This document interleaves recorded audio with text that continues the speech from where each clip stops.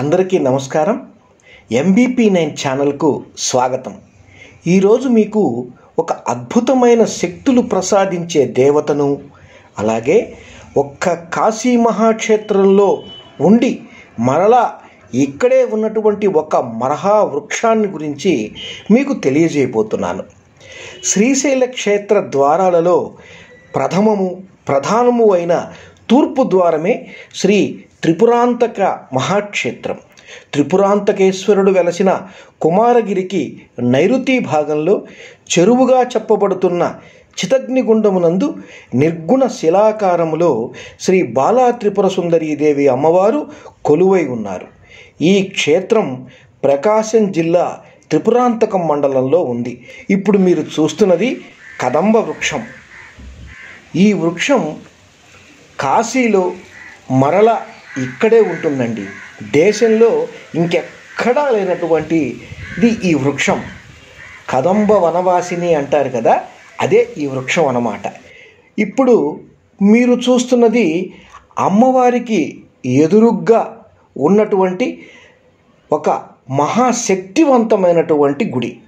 ఇది దశమహావిద్యల్లో ఆరవది అయినటువంటి చిన్నమస్తాదేవి కొలువై ఉందండి ఈ గుళ్ళో. ఇక్కడే చతుషష్ఠి యోగిని మూర్తులను కూడా చూడవచ్చు. ఇప్పుడు మీరు చూస్తున్న వాళ్ళందరూ కూడా ఆ విగ్రహాలే. ఈ- చినమస్తాదేవి తన శిరస్సును తానే ఖండించుకొని ఎడమ చేతిలో ఆ తలను పట్టుకొని కుడి చేతిలో ఖడ్గాన్ని పట్టుకొని దిగంబరదారి అయి రతీమన్మధుల పైన ఒక కాలు పెట్టి ఉంటూ తన కంఠంలో నుంచి వచ్చే మూడు రక్తధారలలో మధ్యధారను తానే త్రాగుచూ మిగిలిన రెండు రక్తధారలను తన చెలికత్తెలు వర్ణిని ఢాకిని తాగుతూ ఉంటారు. ఇంత భయంకరమైనటువంటి రూపం దాదాపుగా ఇది ఒక్కటేనని చెప్పాలండి. ఆమె శిరస్సు మీద నాగరాజు అదే పాము అలంకారంగా ఉంటాడు. శాక్తేయ దేవతలలో ఇంతకంటే భయంకరమైన దేవత లేదట.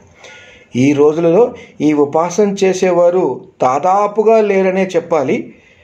వామాచారాన్ని అంగీకరించని దక్షిణాచార సాధకులు కూడా దేవాలయాల్లో ఈ అమ్మవారి జపం చేసి హోమ తర్పణ దానాలు చేసి ఈమెను పూజిస్తారు.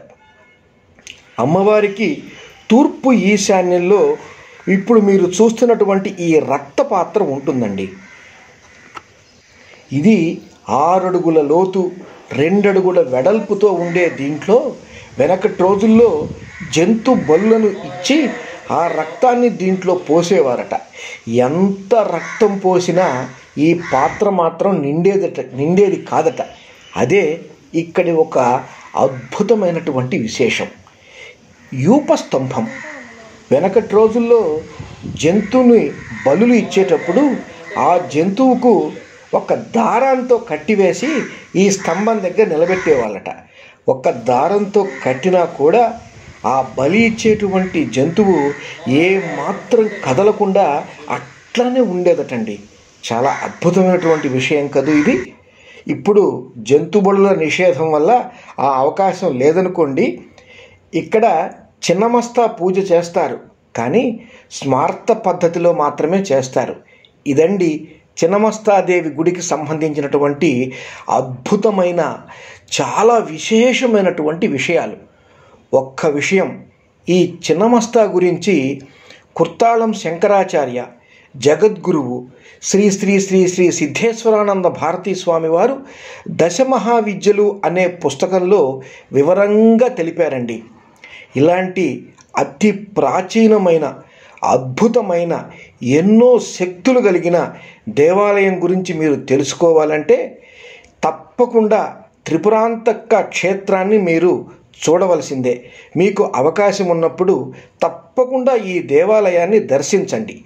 ఇది చాలా మహిమలు కలిగినటువంటి దేవాలయం అమ్మవారు. చివరిగా ఒక్క విజ్ఞప్తి. మా ఎంబీపీ జైన్ ఛానల్ను సబ్స్క్రైబ్ చేసుకోండి. మీ వాళ్ళందరికీ షేర్ చేయండి. వాళ్ళ చేత కూడా సబ్స్క్రైబ్ చేయించండి. ఇలాంటి అద్భుతమైనటువంటి విషయాలకు వీడియోల రూపంలో మీకు అందించే ప్రయత్నం చేస్తున్నాం. మీకు ఏదైనా దేవాలయాల గురించి విషయం కావాలన్నప్పుడు మా కామెంట్ బాక్స్లో కామెంట్స్ పెట్టండి. మరొక వీడియోలో మరొక అద్భుతమైనటువంటి విషయం గురించి తెలుసుకుందాం. सर्वे सुजना सुखिनो भवन्तु।